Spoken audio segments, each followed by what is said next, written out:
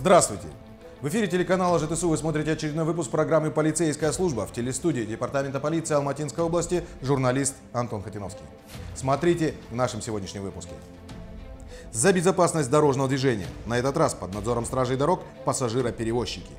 Браконьерам бой. Более 150 нарушений выявили природоохранные полицейские за истекшую неделю. Возвращаясь к жизни, служба пробации помогает условно осужденным трудоустроиться и социально адаптироваться.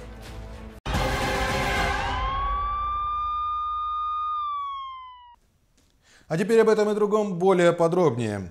Рейдовое мероприятие «Автобус» стартовало в Алматинской области. Оно направлено на снижение аварийности, повышение культуры водителей и усиление контроля и надзора за дорожным движением. В мероприятии приняли участие не только стражи порядка, вместе с ними работали территориальные подразделения инспекции транспортного контроля, Департамент государственных доходов и представители иных заинтересованных органов. Перед выездом на линию проверяли техническое состояние городских автобусов, наличие регистрационных документов водителей. В первый же день республиканского мероприятия выявлено 232 факта нарушения правил дорожного движения со стороны водителей общественного транспорта. 52 водителя автобусов пользовались телефоном во время движения. Выявлено 48 фактов несоблюдения правил дорожного движения и два автобуса были водворены на штрафную стоянку.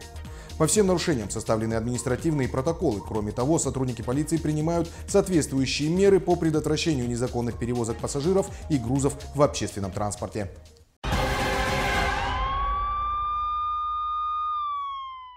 Действительно, некоторые участники дорожного движения считают автомагистраль местом для развлечений. Особенно отличается Карасайский район, где, на первый взгляд, и вовсе не существует ПДД. Владельцы крутых тачек здесь позволяют себе устанавливать спецсигналы и тонировать автомобили на все 100. На этот раз они отличились тем, что ездили задним ходом. В ходе мониторинга социальных сетей стражи порядка обнаружили видеоролики, демонстрирующие грубые нарушения правил дорожного движения. Проведя разыскные мероприятия, правоохранители установили личности водителей и нарушителей и привлекли их к административной ответственности. В частности, в отношении водителя автомашины марки Deo Nexius составлено два административных протокола. Транспортное средство нарушителя водворено на специализированную штрафную стоянку. По факту аналогичных нарушений ПДД, допущенных водителями гражданского кортежа, двигавшегося по автодороге республиканского значения Алматы-Бишкек, в отношении водителей автомашин Toyota Camry 70, Infiniti QX 56 и Mitsubishi Galant составлены аналогичные административные протокола. Все вышеперечисленные автомашины водворены на специализированную штрафную стоянку.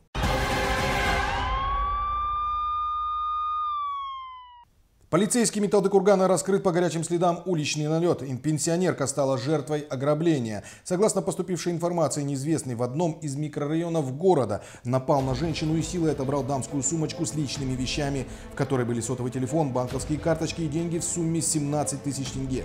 Спустя три минуты после сигнала от пострадавшей на место, где и произошло ограбление, прибыли сотрудники западного городского отдела полиции. Они прочесали прилегающую местность и сразу же задержали налетчика. Фигурант доставлен в отдел полиции полиции. При допросе задержанный пояснил, что в Талдыкурган приехал с Кирбулакского района около двух недель назад в поисках заработка.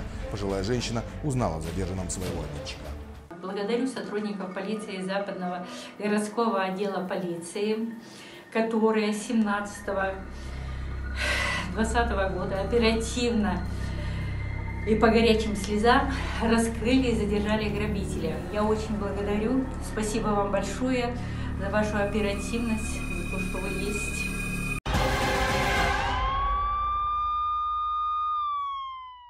Камеры наблюдения продолжают помогать раскрывать преступления. Их око беспристрастно фиксирует все происходящее как на улицах города, так и в торговых павильонах. Оперативники Восточного городского отдела полиции по подозрению в совершении семи карманных краж, совершенных в период одного месяца, задержали ранее 19 раз привлекавшегося к уголовной ответственности за кражи, мошенничество, угоны, употребление и хранение наркотических средств и дважды судимого за кражи чужого имущества 42-летнего жителя поселка Карабулак Искельдинского района.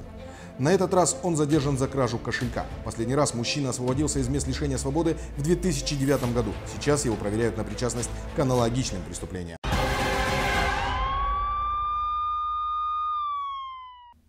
Полицейские Алматинской области отыскали в Павлодаре украденных 19 лошадей и трех же ребят, похищенных неизвестными с пастбища села Кагамшил. О краже 19 голов лошадей и трех жеребят на общую сумму около 8 миллионов тенге обратился 36-летний местный житель после шести дней самостоятельного безуспешного розыска.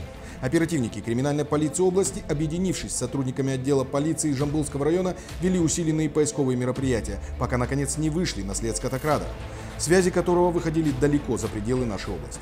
Часть лошадей была изъята у родственников подозреваемого в Павлодарской области. Далее там же были обнаружены и остальные лошадки. Подозреваемый 27-летний житель Жамбылского района Алматинской области задержан правоохранителями в горах на отгонном участке и водворен ВВС.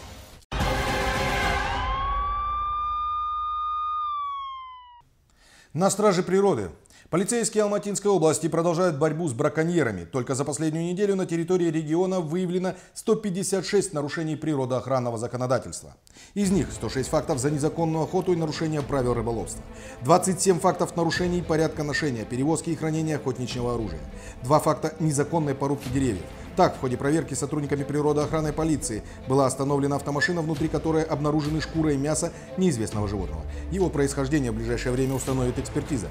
Дополним, сотрудники полиции Алматинской области, согласно указанию МВД Республики Казахстан с 12 октября по 11 ноября проводят оперативно-профилактическое мероприятие «Браконьер». Его цель – выявление и пресечение нарушений природоохранного законодательства.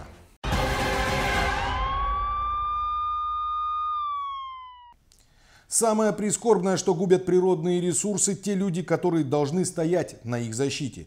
За незаконную охоту на барсуков задержан лесник – в горах Шаладыр Карасайского района природоохранные полицейские совместно с представителями общественности задержали 59-летнего жителя города Каскелен, который при помощи двух охотничьих собак и специального браконьерского приспособления в форме узких вил с боковыми зацепами охотился на барсуков.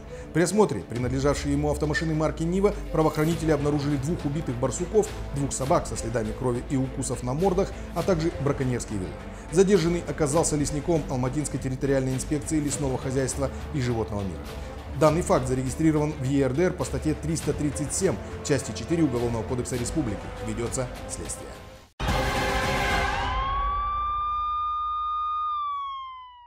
А в Янбикши-Казахском районе инспектором природоохранной полиции совместно с Капшигайской рыбной инспекцией задержан 38-летний житель села Сарыбулак, который при помощи запрещенных мелкоячеистых сетей занимался незаконной ловлей рыбы на Или Копчегайском водохранилище, где действует круглогодичный запрет на ее добычу. Правоохранители изъяли у подозреваемого 100 килограмм рыбы, в числе которых были особи змееголова, сазана, белого амура, толстолобика и судака. Кроме того, полицейские изъяли запрещенное орудие лова – 100-метровую китайскую сеть. Данный факт зарегистрирован в ЕРДР по статье 335, часть 1 Уголовного кодекса.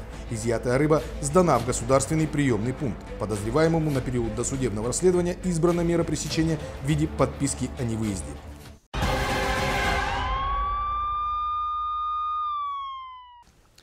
Страдает от рук браконьеров не только животный мир и обитатели водоемов, но и зеленые насаждения, находящиеся под защитой закона. В поселке Иргели Карасайского района Алматинской области полицейские обнаружили и изъяли у 35-летнего жителя, являющегося местным частным предпринимателем, 3 кубометра редкого, находящегося под угрозой исчезновения, запрещенного к использованию растения саксаул. Со слов мужчины, заготовкой и перепродажей саксаула он занимался с 2002 года. В 2015 году открыл кафе, где также использовал саксаул. Данный факт зарегистрирован в ЕРДР по статье 339, часть 1 Уголовного кодекса. Незаконное добывание, приобретение, хранение, сбыт, ввоз, вывоз, пересылка, перевозка или уничтожение редких и находящихся под угрозой исчезновения видов растений. В рамках досудебного расследования будет проверена причастность подозреваемого к вырубкам редкого растения, способы его заготовки и использования. По делу назначены и проводятся необходимые экспертизы. Саксаул изъят.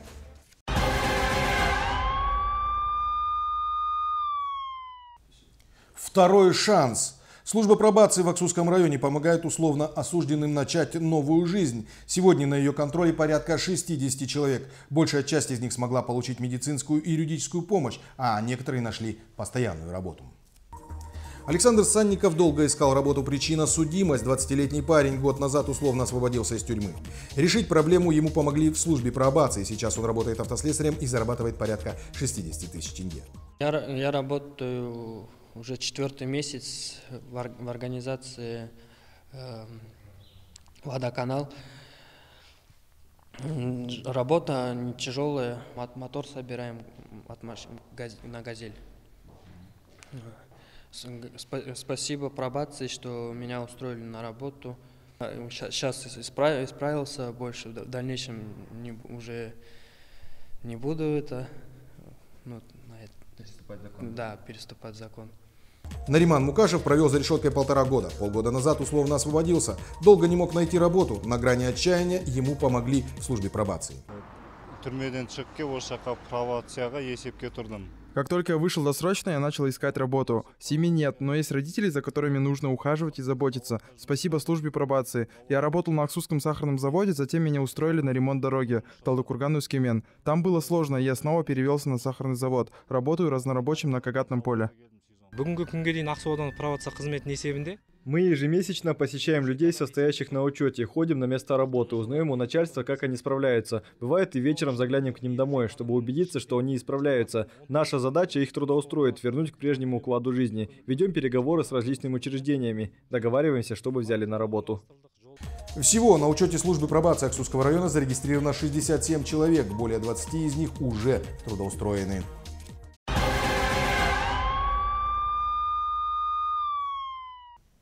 На этом наш очередной выпуск подошел к своему завершению. Будьте бдительны и помните, что только сообща мы сможем навести общественный порядок.